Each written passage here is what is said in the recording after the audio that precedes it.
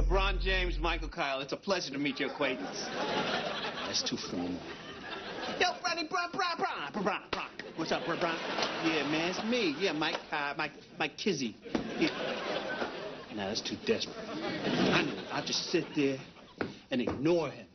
I'll be courtside. He'll be like, man, who's this dude sitting over here ignoring me? Now look at him, give him that brush off nod.